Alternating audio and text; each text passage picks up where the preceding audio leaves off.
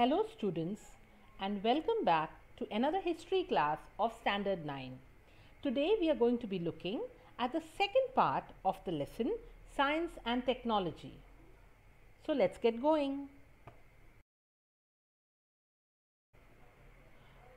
In the first part of the video we had seen India's achievement in the areas of science and technology. We had also seen some of the important institutions in the areas of science and technology and their contributions. Some of the important organizations were the Indian Atomic Energy Commission, the Dhruva Nuclear Reactor, the Nuclear Power Corporation of India Limited. Then we had also looked at the various nuclear tests that is the first nuclear test and the second nuclear test that India had conducted we also looked at the missile development program and the contribution of our ex-prime president of India, Dr. APJ Abdul Kalam, uh, who is otherwise also known as the missile man of India. So, in today's module, we will continue after this part.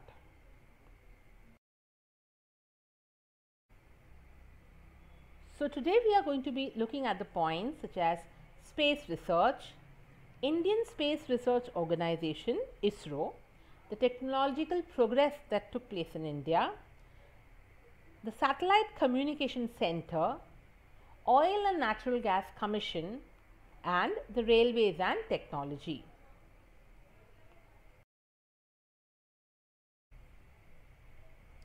So, let us now look at the progress that India achieved in the field of space research. In 1961, the Indian National Committee for Space Research, that is the NCSR, launched India's first research rocket from Thumba Equatorial Launch Center in Thumba in the state of Kerala. Now, this rocket was sent for the purpose of researching. Later in 1969, our indigenously built, that is entirely built in India using products that were Indian made.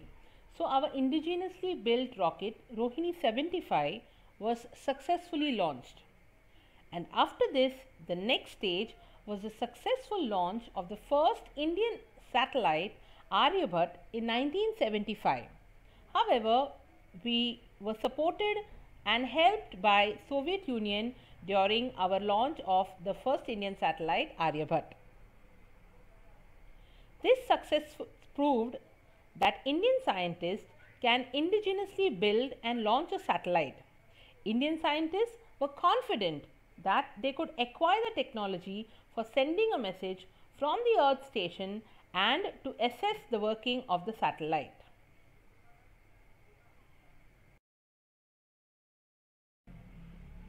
Let us now study another important organization that has changed the face value of India in contribution towards space research.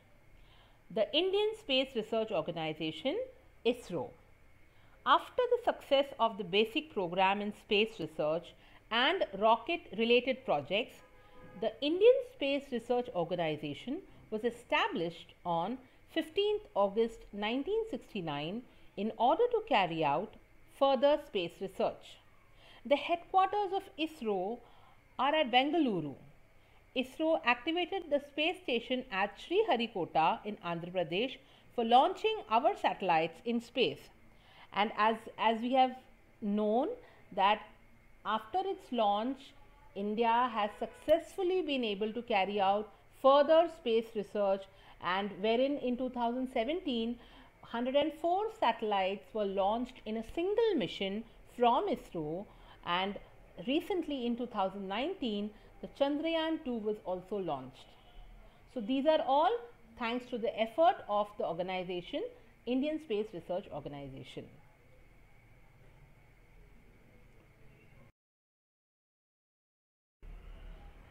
Let us look at the further achievements that India made in the field of space research.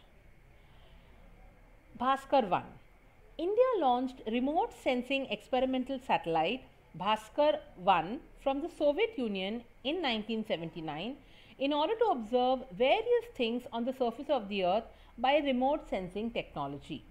This remote sensing technology would be useful for India's development by regarding water bodies, mineral deposits and forecasting the weather.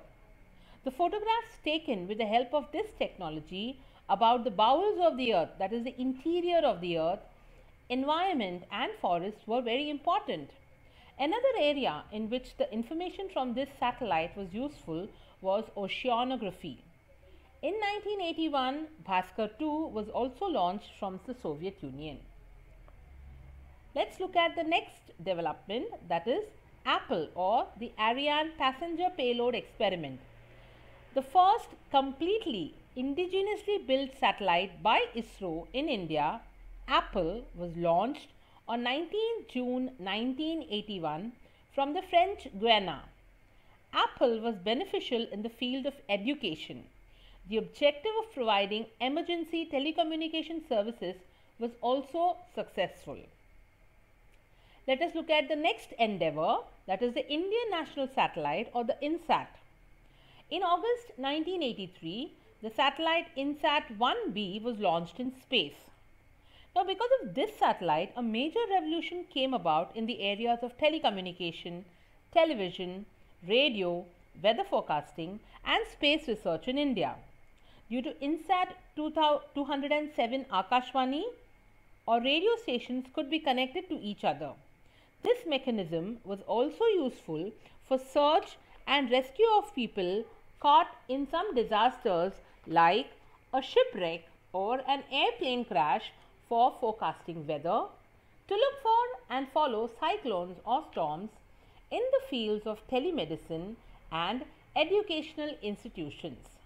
The telemedicine service enabled the population from remote areas to get advice and treatment from expert doctors. The public primary health centers in villages have been connected with super specialty hospitals through INSAT.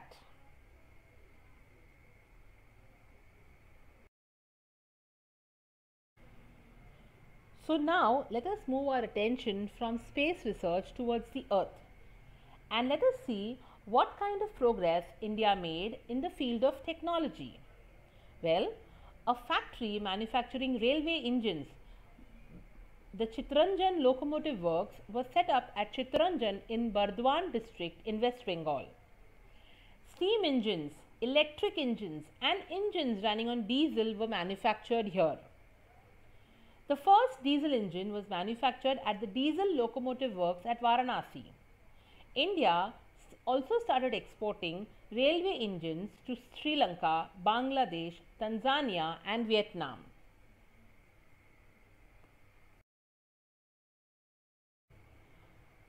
The Department of Telecommunications under the Ministry of Communications started the telex service in 1963 to transmit typed messages from one part of the country to another rapidly.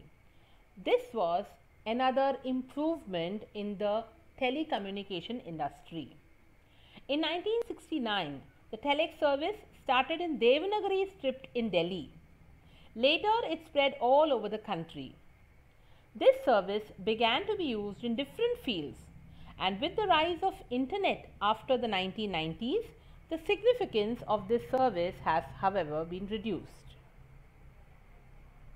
As you can see in the given images alongside, uh, the image of the tele telex machine and uh, a few more details can be seen about the telex machine.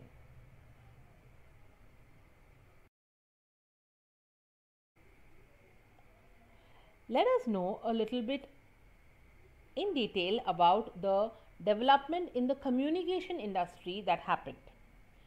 In order to establish satellite communication with the help of an artificial satellite, a domestic satellite communication Earth station was established in 1967 at Jodhpur Tekra near Ahmedabad. Now this in the in the given image you can see that how the waves were captured uh, from the earth station and were sent to the satellite and again they were sent to another receiving earth station and that is how the signal was transmitted. This made it easy to train scientists and technicians in setting up and running an earth station within the country. In 1970, a center was established at Arvi near Pune equipped for international communication service.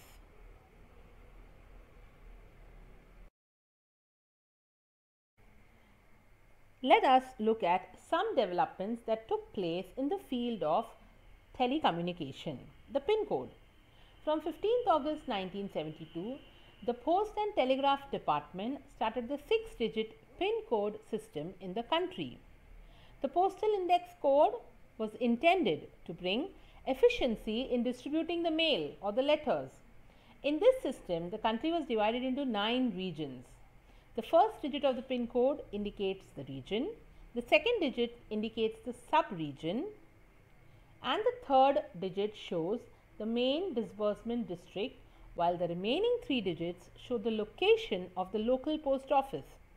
For Maharashtra, 40, 41, 42, 43 and 44 are the first two digits. Later in 1986, the speed post service was started to send postage rapidly. Moving on to the International Subscriber Dialing Telephone Service or the ISD. In 1972, the Overseas Communication Service was established in Mumbai for the management of international telecommunication service. In 1976, the International Subscriber Dialed Telephone Service was started to connect Mumbai and London directly on phone. Alongside the telephone service, services like the telex, teleprinter and radio images were started. In 1986, Videsh Sanchar Nigam Limited VSNL took a big leap in this field.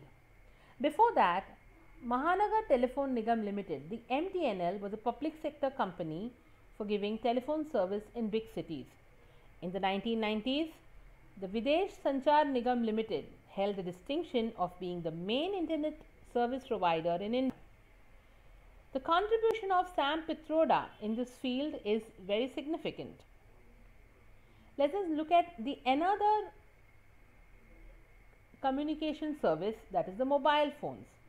On 22nd August 1994, the mobile phone service started in India. At this time, a mobile handset cost rupees 45,000 and calling was at rupees 17 per minute. By 1990, many private companies came in this field and this made the services cheaper. the BSNL or the Bharat Sanchar Nigam Limited. In 2000, the telecommunication department was restructured. The responsibility to make policy decisions was retained with the telecom department and Bharat Sanchar Nigam Limited was established to actually provide the services to consumers.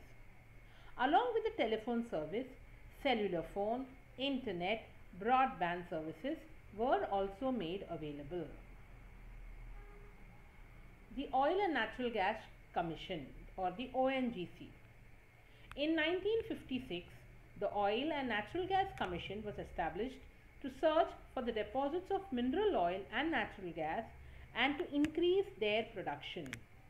After Digboi in Assam, mineral oil deposits were found in Ankleshwar area in Gujarat. Later, mineral oil and natural gas deposits were found in the Gulf of Khambat in Gujarat. In 1974, the Oil and Natural Gas Commission started digging an oil well in Bombay High area with the help of Russian scientists by a drill ship called Sagar Samrat. From 1975, mineral oil and natural gas began to be extracted from there. Later, more than 8,500 oil wells and 33 natural gas wells were dug eventually in this area and they began to contribute 38% of the total mineral oil production in the country and they also met 14% of the country's demand for crude oil.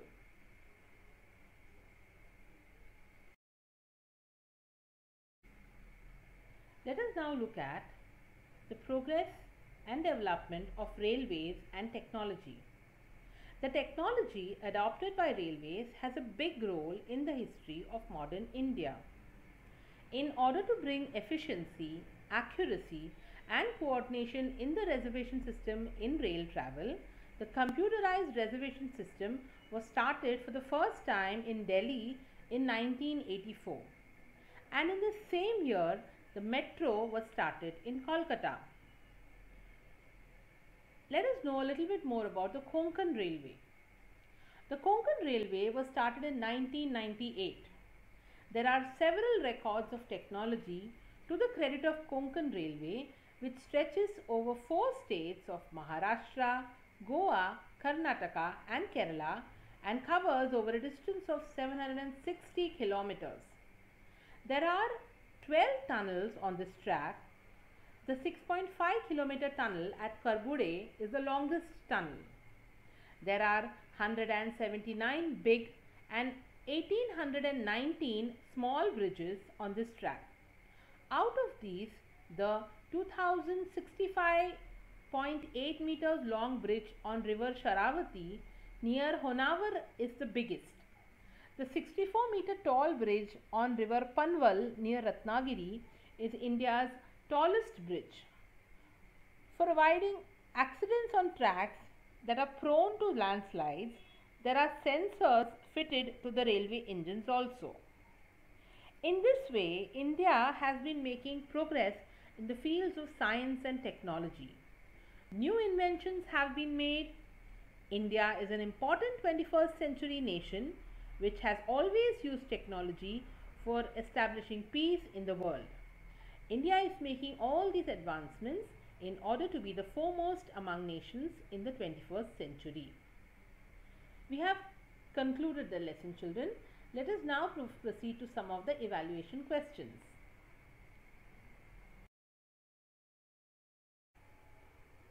Let's look at the few evaluation questions here.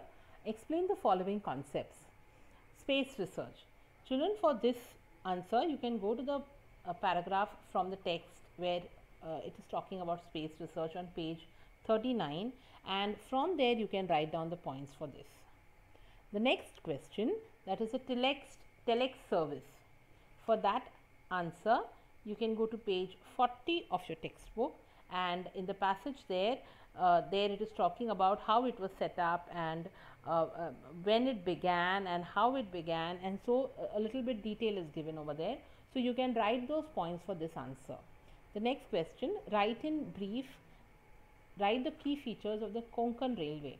For this answer children you can go to page 41 of your textbook in which you have that box blue box where they have given about the Konkan Railway and you can write the points from there for this answer as to when it was started and uh, how many uh, what area it covers what distance it covers and everything about the tallest uh, bridge and the longest tunnel and all those points and uh, you can write for this particular answer okay i hope this uh, video has been useful to you and we will meet again in another video soon till then happy learning